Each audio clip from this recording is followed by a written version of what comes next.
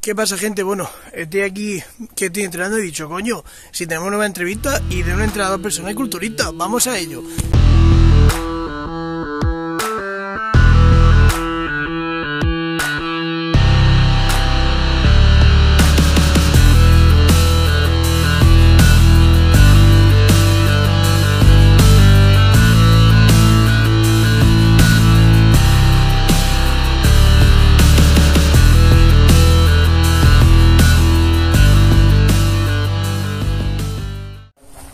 Buenas. Buenas, David. ¿Qué? ¿Qué pasa, tío? ¿Qué dices? ¿Vamos a ello? Ah, vamos a ello. Vamos a enseñar aquí. Un poquillo la cosa, ¿no? Fuerza eficiente. Eh, bueno, han habido muchos cambios desde que tú y yo nos conocemos. Demasiado, diría yo. Pero bueno, pues te voy enseñando ahí un poco lo que es la sala. Que sobre todo lo que buscamos en esta sala es la optimización del espacio, que la gente esté a gusto. Eh, pues son pequeños grupos reducidos, con su entrenamiento individual cada uno, grupos de 6, 7 personas. Y antes, de más. y antes de empezar, preséntate, ¿quién eres? Bueno, pues mi nombre es Ignacio Gómez, eh, entrenador personal, eh, soy técnico superior en acondicionamiento físico y además desde este año culturista natural. Entonces, Entonces vamos a ello. sí. Pues nada, eh, como te comentaba antes, lo que buscamos es que esté todo optimizado, que la mayoría de máquinas cumplan varias funciones en una. Y nada, tenemos eh, una multipower que bueno, nos va a permitir trabajar muchísimos ejercicios de una forma más guiada, pero también a su vez por delante los ganchicos estos eh, te permiten trabajar libre. Entonces pues, sería como una, una jaula también, por lo tanto ya cumple varias funciones. Los bancos también, que soportan muchísimo peso, son bastante seguros. Lleva cada uno como 6-7 grados de inclinación para trabajar los diferentes ángulos. Luego, un obligatorio para mí en una sala de, entrenamiento, como es una pared, que aquí vos puedes hacer pues, todo lo que quieras, ejercicios de brazo, de pierna, pecho, espalda. La verdad que es muy, muy completa, ocupa muy poquito espacio. Eh, tenemos pues, accesorios como estos que cumplen la siguiente función. Y es que eh, muchas veces, dependiendo del, del ejercicio, quizá el- una placa entera, el saltico de una placa, es demasiado grande. Entonces, pues, para hacerlo más progresivo, aquí eh, metemos el pincho, que ya sería sumarle un kilo más, y aquí podemos meter discos pequeños, fraccionales, y hacer los saltos, pues en vez de cuatro y medio en cuatro y medio, pues de uno en uno, de dos en dos, o sea, podemos hacerlo todo mucho más progresivo. Luego este es uno de los cambios eh, estéticos de la sala, un cartel luminoso, ahora bueno, no se verá mucho, pero la verdad que de noche queda bastante guay, eh, de chapa, con su cartel detrás, y le da un toque la verdad que bastante chulo a lo que es la sala de, de entrenamiento. Bueno, aquí tenemos otro indispensable de la sala de entrenamiento, como es la jaula, que aquí pues, para hacer cualquier ejercicio libre, pues una herramienta que ya te digo que, que también debe estar presente en cualquier sala.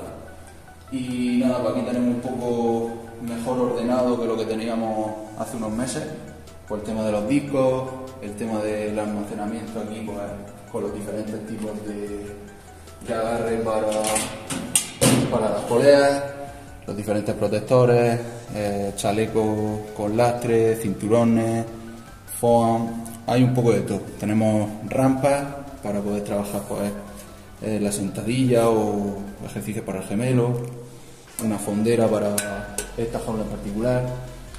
Luego diferentes elementos pues, como son las bandas elásticas que utilizamos como tenemos puesto allí en, en la multipower para ajustar mejor los ejercicios, para hacer sesiones de calentamiento, las combas para el tema del cardio, bandas de glúteos, de activación. Hay un poco de todo, buscando que sea pues, el trabajo más completo posible. Eh, que podamos hacer un calentamiento óptimo, que prevengamos lesiones y a partir de ahí pues, hacer el, trabajo principal y, ¿por qué no?, pues terminar con, con ejercicio de cardio. Luego, eh, por aquí tema mancuernas. Eh, yo tenía claro que quería comprar bastante, tenemos hasta 45 kilos. Dios, madre mía, por ahí. eh, sí, esa ya es un, es un reto. Sí, tú que eres un animalejo lo levantarás seguro. Sí, en algunos no, en algunos.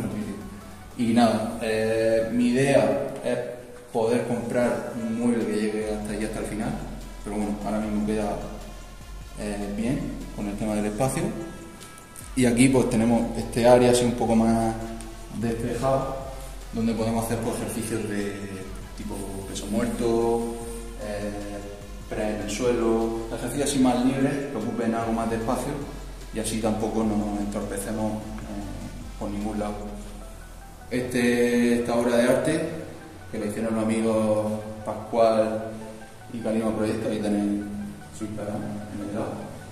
Eh, era algo que desde que monté esto quería, no sé, un graffiti, algo que fuera una seña de, de identidad y al final pues con mucho trabajo de diseño y demás pues las ideas que yo llevaba más lo que ellos aportaron pues decidimos hacer algo más humano y, y bueno pues qué mejor que, No, que se ha esa clase era yo Se ha quedado vicio. y no, la verdad es que hicieron un trabajazo Chacho, es que y, la, y los hexágonos han quedado, le da un toque, le da un toque de fuerza eficiente, ¿verdad? De tu marco. Ahí, ahí.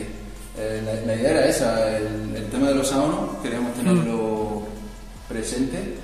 Y bueno, las diferentes ideas que llevamos a cabo con los sábanos no nos convencieron y de ahí que pensáramos en algo, pues, algo más humano.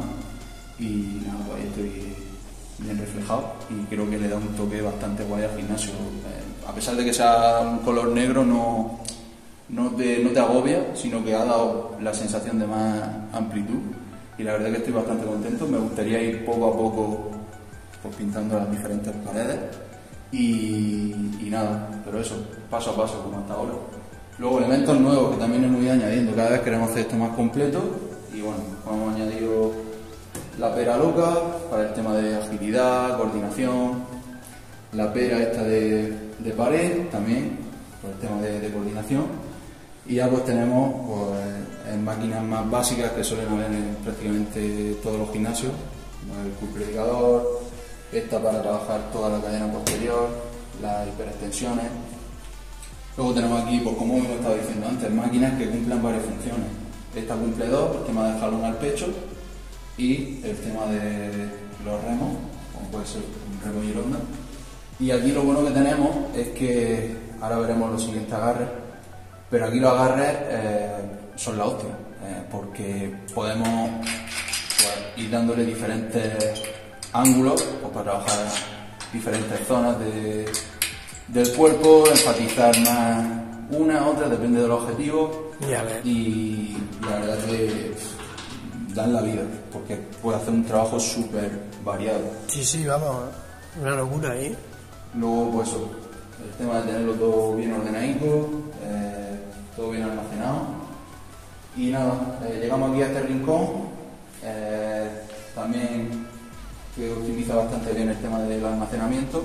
Y aquí, pues, todos los cachivaches posibles. El tema de los guantes, algunos son de los clientes, algunos son míos. Eh, luego tenemos, pues, herramientas que he ido subiendo a los vídeos de Instagram y demás, pero bueno, son diferentes tipos de agarres que no son tan comunes de ver por, por los gimnasios de la zona. Y la verdad que pues como hemos estado viendo con aquel eh, cumplen diferentes funciones hacen que pues, hagan los ejercicios de forma más eficiente. Y, bueno eh, también algún material extra pues como pueden ser el tema de anillas que a algún otro pues le gusta más el tema calistenia pues le podemos también poner los, los ejercicios. Y luego ya vamos con las barras, que también yo quería tener, dentro de lo que cabe, pues variedad. Barras más ligeras para gente que acaba de empezar, para niños, eh, luego barras ya olímpicas más pesadas, de 20 kilos, y barras especiales. Me gustaría ir aumentando poco a poco, pero bueno, tenemos con la bar, una barra que sobre todo para la gente que tiene problemas en, en el hombro o que el tema este de rotación pues no, no va bien, le viene al pelo, una barra suiza que para el tema de los preses eh, es brutal Una, porque una maravilla ahí. evita pues eso, eh, el tema de dolencia en, en la muñeca, en el codo, en el hombro, barra Z, pues hay un poco de hay un poco de todo. Luego, otro que yo, bueno, dos tengo aquí, eh, que quería tener sí o sí, que son el, el landmine, donde se pueden hacer diferentes ejercicios y se ajustan mucho mejor que un ejercicio libre, como puede ser, gente que no puede hacer un press militar, pues se puede venir aquí y hacer un press, trabajar la misma zona, pero sin tanta exigencia como le va a suponer un, militar. Y este banco, que es únicamente para hacer hit track, que se adapta mucho mejor que el por culo de estar preparando el banco, de la barra en el suelo, de no puedo ahora, es que se me mueve el banco, es que tengo que poner dos manconas detrás. Bueno, pues con este banco, vamos, lo puedo hacer de manera mucho más eficiente y efectiva y trabaja el ejercicio track pues, de forma mucho más cómoda. Es una maravilla, esto es una maravilla. Y más lo que yo que, que mi silencio es muy pequeño y el banco pesa lo mismo que un pedo y medio de un cerdo. Vamos, sí, ni con mancuernas se me queda quieto. Ese, ese es el problema, que, que puede generar mucha incomodidad y deja de, de hacer el ejercicio. Y nada, venimos a esta última zona de, de maquinaria, donde tenemos eh, la favorita de lo eficiente, como es la extensión para el cuádriceps y la flexión para, para los isquios, cumple dos funciones. Es una maravilla de máquina, la verdad, yo creo que es la mejor que tengo aquí. Y bueno, muy específica para esos músculos que acabamos de comentar. Esta es mi favorita. Si te voy a decir a mí, eso me mola que Sí, está el remo T, que bueno, pues un remo que pues te permite trabajar de forma muy estable, con el apoyo en el pecho, eh, puedes, pues eso, eh, encontrar el estímulo de manera mucho más fácil y es, la verdad que para mí es muy cómoda. Eh, una máquina que también casi todo el mundo pasa por aquí, porque ya te digo que una manera de trabajar la espalda, el tema de los trapezios también, de una forma muy, muy óptima. Y por último, creo que es la última máquina ya, eh, esta que también es un 2 en 1. Cumple la función de prensa, que encima todo lo bueno es que eh, dentro de la prensa podemos enfocar más el trabajo o al glúteo o al cuádriceps. Porque eh, esto lo podemos ir adaptando y luego también lo que es el respaldo, lo mismo. Podemos tumbarlo más, podemos inclinarlo más o dependiendo de la, de la zona que queramos trabajar luego también a su vez es una sentadilla esto, haciendo esto la transformamos y tenemos también uno de los mejores ejercicios uno de mis favoritos para, para el cuádriceps y nada De lo que más se sufre. sí, ahí se sufre por la pierna y con este 2 en 1 la verdad que también pues tenemos para hacer un trabajo muy completo. La sala, pues, más bien pequeña, pero creo que el espacio está bastante bien aprovechado. La idea es en los siguientes meses añadir más maquinaria. Tengo vista un par de pechos, una de espalda, una de hombro. Y bueno, en mi Tetris mental caben las máquinas. Ya veremos cuando lleguen. Pero bueno, la verdad que estoy bastante contento de, de lo que hemos podido montar aquí. Y, y nada, esto no, esto no para. Ya siempre vamos pensando en el siguiente paso y nada, poquito a poco intentando dar un mejor servicio, eh, tener mejor material y, bueno, pues eso es un poco todo lo que es la sala de entrenamiento. Y bueno, por último, que se me olvidaba, el, nuevo espacio exterior para trabajar también pues, cualquier ejercicio libre, como puede ser un peso muerto. Eh, luego también tenemos el muro para hacer el wall ball, eh, para darle también pues, trabajo diferente. Y tenemos aquí una jaula de los amigos de, de Estructuras Lobo, que, eh, bueno, una jaula súper sólida, que te permite hacer también pues, cualquier ejercicio libre, como hemos estado viendo en, la, en las otras jaulas. El tema del abdominal perfectísimo, o sea, tiene un agarre muy muy cómodo. Y la verdad que el, tener este espacio aquí fuera, poder trabajar tantos ejercicios, que perfectamente puedan haber aquí 3-4 personas, pues libera también de espacio en caso de que un día por lo que sea, bueno, juntemos aquí 8 en vez de 5 o 6. Y nada, entre lo que es este espacio de fuera y, y el interior, tenemos de sobra para un servicio de calidad. Y nada, para el espacio que acabamos de ver fuera, también disponemos de, de una fondera, más sólida incluso que la que hemos visto antes. Tenemos también este rodillo para poder hacer sentadillas búlgaras. eh, que claro, el- el- lo bueno es que como eh, tenemos diferentes agujeros en la jaula, podemos ajustarlo a la altura de cada uno. Sabes tú que los bancos tienen la altura que tienen y ahí va a ser más difícil ajustar la búlgara. Y también tenemos el landmine, la herramienta que hemos visto antes, que también lo podemos poner ahí en, en la jaula. O sea que jaula completa 100%. Bueno, Ignacio, pues, ¿cómo es ser entrenador personal? Bueno, pues para mí es pues cumplir un sueño que tengo desde la infancia. Eh, yo ya con 8 o 9 años eh, tenía clarísimo que quería dedicarme al, al mundo del deporte.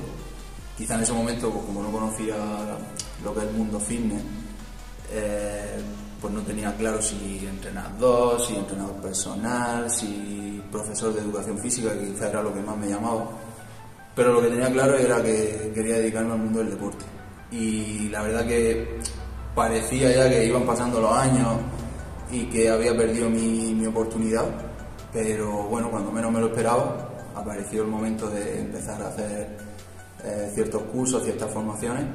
Y ahí me volví a dar cuenta de que, joder, eh, es lo que yo quería en mi vida y al final aquí que vamos a estar trabajando 40 o 45 años, pues yo no me debía sentar en una oficina como estaba, yo quería esto y nada, aproveché ese último tren y la verdad que pues eh, un sueño el poder dedicarme a- al mundo del entrenamiento. Es muy duro dedicarse a ser entrenador personal, tanto a nivel eh, de, trabajar, de trabajador a- como a tu cuenta propia y tanto en competencia.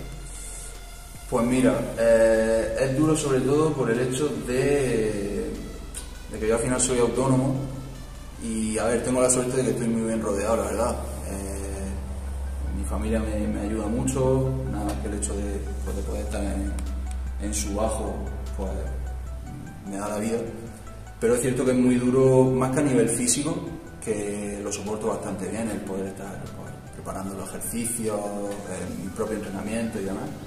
Es muy duro a nivel mental, eh, porque al final está muy guay el hecho de que pues, trabajo eh, aquí en, casa y pues eso lleva más ventajas que, inconvenientes, pero es muy duro porque al final pues, pasas todo el día aquí, eh, yo me engancho a las 9 de la mañana, termino a las 9 de la noche, cierto que entre medias tengo mi descanso, pero no me da para poder salir porque por la tarde vuelvo a empezar.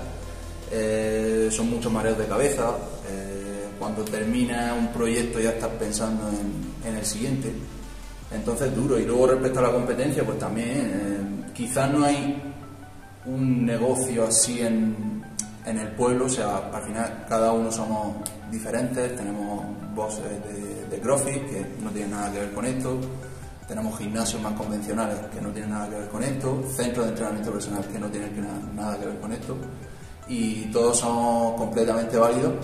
Entonces, en ese sentido, quizás no hay mucha competencia porque no hay nada igual, eh, pero es cierto que cada vez pues, se forman más, eh, hay más entrenadores, entonces pues también tienes que estar muy al día, tienes que mantener pues al día, eh, todo ese tipo de, cosas porque enseguida te comen. Entonces pues sí que es duro, pero la verdad que lo llevo bastante bien, estoy bastante centrado y, y de momento pues puedo decir que va bastante guay la cosa. Bueno, ah, eres entrenador personal, ¿cómo has llegado a serlo?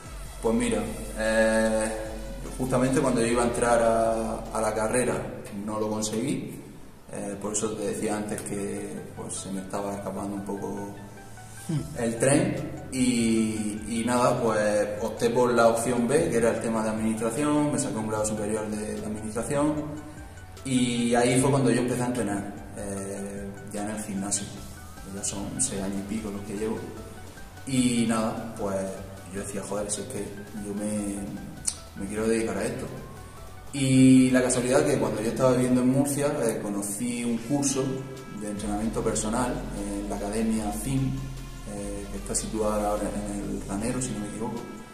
Y nada, dije, bueno, puede ser interesante mientras que yo estoy trabajando en la oficina, poder sacarme este curso, porque era un curso de unos 3 o 4 meses, eh, donde yo ya iba a ver realmente si de verdad esto era lo que me gustaba, y efectivamente, pues nada, en la primera clase ya dije, joder, si es que es lo que, lo que yo quiero.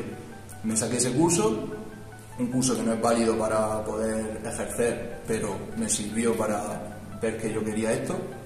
Acabé sacándome otro curso de nutrición deportiva, que no, no llevo ese aspecto, pero quería tener cierto conocimiento. Y ya empecé el grado superior de acondicionamiento físico, que es lo que a mí me habilita como, como entrenador personal. Pues ya eh, con eso me servía, pero es cierto que se queda corto. Eh, en mi opinión, eh, el grado superior y gente que conozco también con el tema de la carrera, se queda corto. Luego te vienen los clientes y les tienes que programar y no sabes cómo hacerlo. Entonces, pues entre medias lo he ido combinando con diferentes cursos de, pues, de programación del entrenamiento, sobre biomecánica, la adaptación de lesiones, etcétera, etcétera. Y es lo que realmente me ha dado a mí el, el conocimiento para, y la soltura para poder llevar cualquier caso, adaptarlo al máximo aquí y, y nada, en resumen sería eso, el grado superior y, y luego las diferentes formaciones complementarias, es lo que me ha habilitado a mí para ser entrenador personal.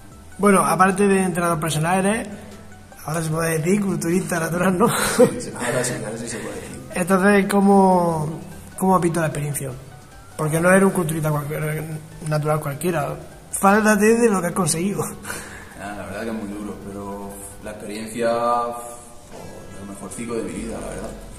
Eh, hace como tres años, cuando coincidíamos tú y yo en el gimnasio, eh, es cuando, bueno, se me empieza a pasar por la cabeza el, joder, eh, yo soy una persona súper competitiva. En todos los deportes que he ido practicando, que por suerte han sido muchos, al final siempre he acabado compitiendo, aunque sea a nivel amateur, pero me gusta competir. Al final en el mundo del gimnasio o te dedicas al culturismo o te dedicas al powerlifting. Y yo para levantar mucho peso no estoy. Entonces digo, bueno, pues culturismo. Y nada, pues empecé a empaparme un poco cuando estaba estudiando y demás. Y ahora como dos años dije, ostras, a lo mejor a medio o largo plazo el llegar a competir es, lo mío. Y nada, eh, me puse a trabajar con, con Mario, mi, nutricionista, y ya a finales del año pasado fue cuando dijimos, mira, mm, tenemos la base, eh, somos dos personas que estamos bueno, en constante contacto y, nada, eh, ya enfocamos todo 2023 eh, a competir con una preparación pues, muy específica, pero es que ya te digo, me ha molado muchísimo todo, o sea, todas las partes del camino, ese inicio, eh, ese seguimiento con, con Mario, luego empezar a trabajar las poses con, con Carlos, el tener que llevarme yo los entrenamientos, el ser constante conmigo mismo. Eh, yo cada semana era un disfrute. Eh, la energía iba cada vez a menos, porque bueno, pues, recortando un poco el tema de nutrición y demás. Pero yo que estaba disfrutando como un enano y, cuando me subí al escenario en, Salamanca, que fue el debut, un sueño cumplido. Ya el hecho de todos los que estábamos allí, ya eh, habíamos ganado, porque la preparación es bastante dura, sobre todo para mí a nivel mental. Y, bueno, me he dado cuenta de que estoy en mi sitio. Ya no solo a nivel eh, profesional, sino a nivel competiciones. Me he dado cuenta de que es mi deporte, de que lo he disfrutado, fíjate, yo el que menos tiempo llevo haciendo, pero lo he disfrutado como el que más. Y me gustaría seguir, si no todos los años, pues cada dos años compitiendo y, hacer de esto, pues ya te digo, mi vida, porque lo disfruto un montón. Bueno, eh, Ignacio, has competido a nivel, mm, no sé si diría como comunitario, de comunidad de Salamanca, o eso es... Ese era un trofeo a nivel nacional Sí. y era el clasificatorio para el Campeonato de España. Claro, aparte, eh, ¿en qué has participado más? Pues después de ese de Salamanca nos clasificamos para el Campeonato de España, que fue en Palma del Río, en Córdoba, y de ahí eh, conseguimos la clasificación para el Campeonato del Mundo, que fue en Perugia, en, Italia. Esas son las, las tres competiciones que he hecho este año. ¿Y qué tal la experiencia de campeonato del mundo? Eso ya fue, vamos, una pasada. Eh, ya Salamanca y, y Palma del Río para mí fue brutal. El, ya te digo, el simple hecho de, de poder subirme a, a la tarima, eh, exhibirme, demostrar el trabajo de, de tantos años y de tanta gente detrás. Pero ya el llegar allí al mundial, o sea, yo nunca había viajado, nunca había, había montado en avión, nunca había salido de España. Eh, entonces he vivido mucha experiencia eh, por primera vez y ha sido todo un disfrute. Eh, y allí la verdad que eh, a pesar de la locura del tema de la organización, porque somos muchos participantes y demás, eh, yo he disfrutado un montón, he conocido diferentes sitios, muchas personas, que al final con lo que te quedas, con toda la gente que, que conoces, con todos los lugares que, que conoces. Pero allí, sobre todo, tío, el- lo que impactaba era el, el escenario, fue brutísimo. Es como dijo Fer, el, el seleccionador, que a nivel pues, edificio no era quizás el más impactante en el que hemos estado, porque por ejemplo el de Salamanca era una pasada, pero a nivel escenario era una locura. O sea, luego cuando puedas subir las fotos, cuando las tengas, es que era una locura, un pantallón gigante detrás, se emitió la competición en directo por, por YouTube.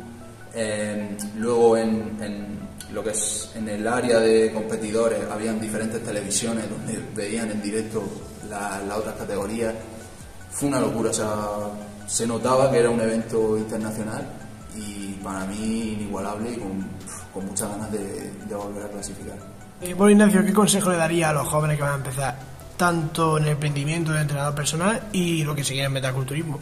Bueno, eh, paciencia eh, y paso a paso que, todo llega. Eh, ya te digo, yo al final, yo pensaba ya que no iba a, dedicarme a esto, pero eso, es cierto que la situación es muy complicada, que cada vez pues, están peores las cosas y que es más difícil el decir, venga, me, voy a montar por mi cuenta, eh, voy a hacer una inversión y me voy a hacer autónomo. Eh, mi idea, eh, que es lo que recomiendo de primera, una vez tengas los estudios durante esa etapa de estudio, el buscar un trabajo en algún, en algún centro de entrenamiento, en, algún gimnasio, que vayas cogiendo sobre todo experiencia, ese trato con el público, el, estar encima de- del cliente, aunque sea un gimnasio más convencional. Pero creo que ahí puedes sacar eh, muchas cosas, que de hecho era mi idea, pero bueno, pues no, no me contrataron en ninguno y yo al final tengo la suerte de tener este bajo y decir, venga, empiezo. Pero, pero eso, que yo de primera recomendaría buscar un trabajo de- dentro del mundillo, coger esa experiencia y, y eso, sobre todo darte a conocer, aunque estés trabajando para alguien, darte a conocer y bueno, pues también aprovechar todas las herramientas gratuitas que tenemos. Tenemos más facilidad que nunca a poder eh, comunicar cualquier cosa y para mí eh, tenga o no tenga ese trabajo en, ese gimnasio tú puedes empezar en redes sociales y empezar a, hablar sobre lo que has estudiado hoy empezar a grabarte empezar a soltarte escribir un blog creo que el ir eh, haciendo ese tipo de cosas te van a dar una soltura y una experiencia que luego se nota porque es muy importante saber comunicarle al cliente eh, por qué le está haciendo ese entrenamiento, por qué le hace cierto ajuste y, para mí, pues ya te digo, muy importante también el, utilizar todo, este tipo de herramientas y que, que todo acaba llegando, que lo que a ti te llega con 24 años, lo mismo a mí me llega con 30, que no quiere decir nada. Entonces, pues eso, paciencia y nada, trabajar duro, que no, no queda de otra. El tema de, bueno, de emprender, que ha empezado, porque al fin y al cabo emprendi- ha emprendido, y de la inversión, por- porque la maquinaria que tiene aquí, por desgracia, pues todo vale su precio. ¿Cómo te ha supuesto, te ha supuesto un reto muy fuerte? ¿La has podido conllevar bien? ¿Ha tenido los pies siempre situados en el suelo? Eso sí. Eh, eso sí, porque es muy fácil perder la, cabeza y empezar a comprar, a comprar, a comprar y de primera decir, Buah, quiero tener el mejor gimnasio, la mejor sala del mundo. Eh, obviamente ha supuesto un esfuerzo grande. Eh, es un mundo que es caro, pero creo que desde que yo empiezo a estudiar hasta que yo empiezo aquí a trabajar, me he mirado todas las páginas, todas las marcas del mundo mundial, he pedido consejo a cada uno de los, comerciales y al final hemos encontrado eh, cierto material que es más bien semiprofesional, que cumple perfectamente con, con todo lo que tiene que cumplir, pero es más económico. Entonces yo tengo mucho de este material que cuando yo he dicho lo que me ha costado, eh, la gente se ha sorprendido de decir, me está engañando, yo no, no te estoy engañando, es que me ha costado esto. Eh, al final es encontrar eh, un material que te sea válido, eh, que tenga diferentes funcionalidades y poco a poco con lo que vayas generando ir invirtiendo. Oye, que me sitúa en 5, pues en vez de invertir los 5 vamos a invertir 3 y me quedo con 2. Luego esos 2 los vamos a transformar en 7 con la nueva inversión y de esos 7 invierto los 4 y así. Poco a poco eh, ir invirtiendo porque al final lo que te va a dar más pero es cierto eso que, que yo por suerte pues estuve trabajando varios años antes entonces pues tampoco soy un chico que sale por ahí mucho ni nada eh, ahorré bastante y pues, pues prácticamente el 80-90% de ese ahorro lo, invertí aquí pero con la confianza de mm, puede ir bien y oye si fuera mal aquí ya tengo yo un gimnasio para mí para toda la vida pero bueno, por suerte está yendo muy bien y pues aplicando ese método que te he dicho. Venga, he acumulado un poco, vamos a mejorar esto. Venga, ahora los clientes me están dejando caer esto, venga, vamos a hacerlo. Y sobre todo hacerlo todo muy poco a poco, porque lo que te digo es muy fácil decir, venga, eh, si tengo el dinero voy a gastarme 40 en vez de 20 y esto no funciona en tres días y te comen, eh, con el tema del autónomo y demás. Así que, pues sí, un esfuerzo grande que por suerte pude hacer desde el principio, pero si se busca bien, empieza a hablar con las marcas y demás, puede encontrar opciones bastante interesantes y, y no gastarte tanto dinero, al menos de primera. ¿Ejercicio favorito de espalda? Es ya. remonte. ¿Y de bíceps? De bíceps, eh, el Cuba Yesian, en, en Polea. ¿Y el, cu- y, el, y el? ¿Y de pecho? De pecho, yo creo que el cruce de poleas sentado, a altura media, ese, ese es mi favorito. Esa es una maravilla. Eh, ¿Hombro? Hombro, elevación. Al final te lo voy a decir todo aquí en la polea. No, Eh, pero es que elevación en polea es muy Las elevaciones laterales, pero tumbado. Eh, conforme Hostia, es, ese es duro, ¿eh? Y ahí, ese, ese me flipa, ese me encanta. Y venga, y para adivinar, eh, que es de cuádriceps, El cuádriceps, te voy a decir la sentadilla hard. casi. Estoy ahí, ahí entre la extensión de cuádriceps y la sentadilla, pero sentadilla. Hay una guerra muy fuerte entre la extensión de cuádriceps y la sentadilla hack porque es que ambas están muy bien. Sobre todo yo noto mucho la sentadilla, las extensiones de cuádriceps. Sí, es un ejercicio muy específico. Eh, la verdad que si se tiene esa máquina, eh, yo casi siempre mando ese, ese ejercicio si no hay ningún tipo de dolencia ni nada. Y por, Pero por poco me quedo con, con la la jarra. jaca. Y por ejemplo, a ver, de Ikio, meto el peso muerto. Bueno, puedes meter un rumano, puedes meter un pierna rígida. Sí, siempre se puede meter. Yo es verdad que muchas veces digo, mira, no tengo tiempo de prepararme aquí el peso, de hacer mis series de calentamiento y demás. Me voy directamente a la máquina aquella y hago el pull sentado. Sí. Y hago un trabajo algo más específico, me vengo aquí a la multipower y hago un buenos días. Siempre se puede encontrar algún, alguna variante. Pero es verdad que yo temas pesos muertos, sentadillas y más tradicionales, muchas veces no hago por esa falta de, tiempo. Mira, voy a contar porque yo tengo una anécdota contigo de cuando entrábamos juntos que un día me corregiste un puñetero pre francés. Me dijiste, no, no, hazlo así, baja el pre francés por detrás de la cabeza que te va a gustar más. Y mi resultado fue que tuve que agujetar tres putos días en el porque no podía moverlo. A- Ahí no sabía tanto. pues a mí yo de eso me acuerdo mucho. Entonces, eh, ¿alguna anécdota graciosa que hayas tenido a lo largo de todo lo que llevas? Da igual que sea trabajando aquí, como tanto en la competición, como entrenando tú. Joder, pues, no sé. A ver, yo recuerdo, por ejemplo, ahora que manejo un poco el tema de la máquina y demás, eh, recuerdo de, de algún par de calimas, un par de cuencadas en, en el gimnasio donde estaba antes. Eh, recuerdo que, pues de esto de que vas aprendiendo y te van diciendo, oye, mira, pues, este tipo de máquinas, si las ajustas de esta manera, para no tan mal músculo, tal. Bueno, venga, vamos a probarlo. Entonces, en la máquina del premilitar, Yo, esa que me sí, sí. Vale, pues eh, vi eh, un consejo que te daban que era que en vez de hacerlo eh, apoyando lo que es la espalda, que te dieras la vuelta Y apoyaba el pecho. y apoyaba el pecho y bueno, pues como que mejor perfil de resistencia. Pues yo digo, bueno, venga, vamos a probarlo hoy. Y estaba medio ajustando la máquina para hacer el ejercicio, todo eso ya sentado ahí. Yo no sé cómo iba la máquina, que mientras que estaba ajustando el ejercicio, pues se me, se me fue el peso y demás y me caí. Me caí de la máquina al suelo.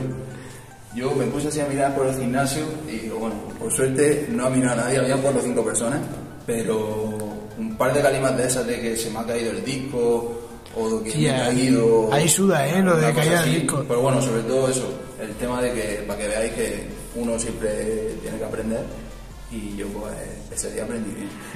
Yo me acuerdo que estábamos un día, yo estaba corriendo la cinta y se fue la luz del gimnasio. Y las máquinas de gimnasio esas son súper desgraciadas. Porque cortó de golpe y me pegó un viaje contra la parte de adelante y es que todo el gimnasio se volvió. y dije yo. no te rompiste ningún diente ni nada. Y no me caí porque sabes que te acuerdas que estaba en altura. Sí. Pues- Bueno, mientras que no te cayera. sí, el era bonito, ¿sabes? hombre. Encima de todas las pesas. Pero sí, bueno, y anécdota aquí con los clientes y demás también, de joder haberle explicado el ejercicio y, y de repente me está haciendo una cosa completamente diferente y yo los miro. O, por ejemplo, aquí hay una máquina, mira, una anécdota buena que siempre pasa, siempre. Es en la máquina de la extensión de cuádriceps. Sí. Vale, pues en la del Q sentado se pone el rodillo y en la otra no. La gente de primera, si no se lo explica, me gusta que algunas veces pues actúe en ellos por sí mismo y, y ya les corrijo antes de que, de que empiecen a hacerlo. Nadie me la acierta de primera. Siempre se la coloca Sí. el rodillo cuando no toca y demás. Pero eso, la verdad que ese primer día ya aprenden esa lección. Y bueno, pues ya te digo, sé que al final del día a día pues pasan muchas cosas. Ahora mismo pues no, no me acuerdo de mucho más. Pero no, pero está sí, guay. que alguna cagada he hecho, eh, ya ya haya sido yo como usuario entrenando o, o como, como entrenador. Ha sido final, así, no- un entrenamiento en NPC de caerte y, y de que no pasa nada. equivocamos, sí. ¿Has notado mucho el cambio de tu trabajo, bueno, de tu trabajo normal a trabajar porque es de tu sueño, a trabajar de, de- de tu sueño?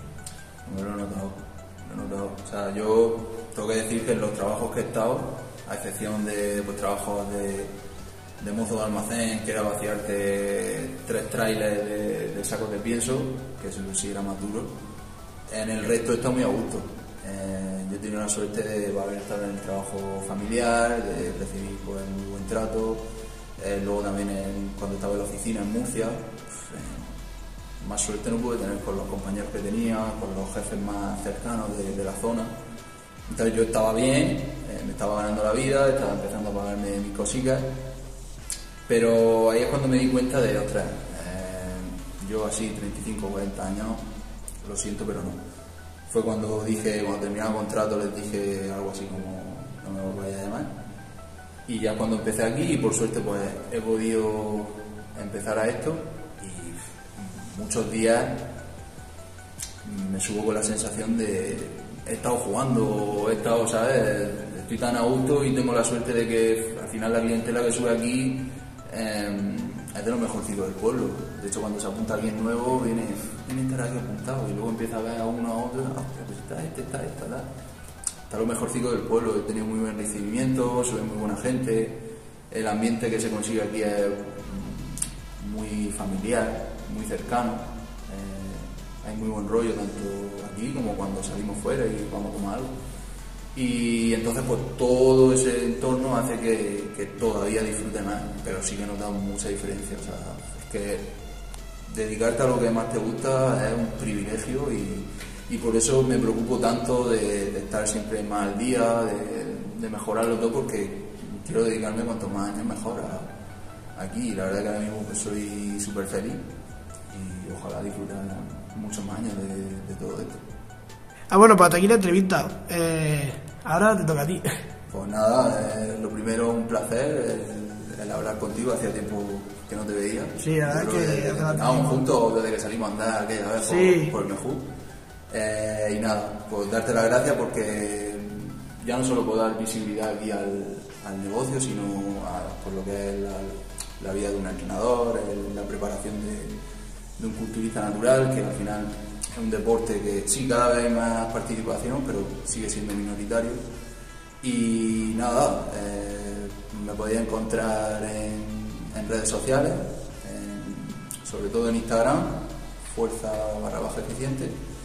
Luego también en la página web, en fuerzaeficiente.es, donde eh, se viene una actualización eh, y ahí vais a tener pues todos los servicios que ofrecemos, eh, fotos de, de la sala donde vais a ver pues dónde se, se va a entrenar.